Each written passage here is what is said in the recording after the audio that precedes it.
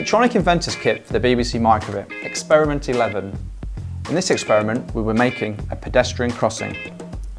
These LEDs correspond to the traffic light, so we'd have the green, amber and red traffic lights, and these LEDs correspond to the red and green men that you would get on a pedestrian crossing. So when I press button A, the traffic lights will change from green to amber to red, indicating that the cars should stop. This will then change from the red man to the green man and the buzzer will beep to indicate that it's safe to cross. This will then change back to red to indicate to pedestrians that it is no longer safe to cross and the traffic lights will change back to green. I'll show you that now.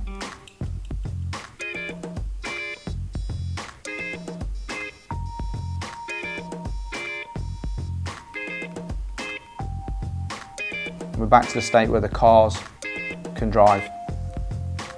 It's again it's quite a simple circuit, there's not too many wires. We have a number that come directly off the pins and these drive the corresponding LEDs and also the buzzer and they have a common negative or ground connection here. The only thing I would be very careful on is to ensure that when you connect the buzzer, because you can't see the pins, we make sure we line them up correctly.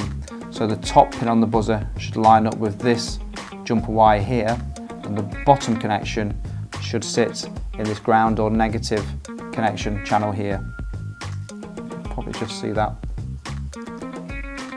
underneath.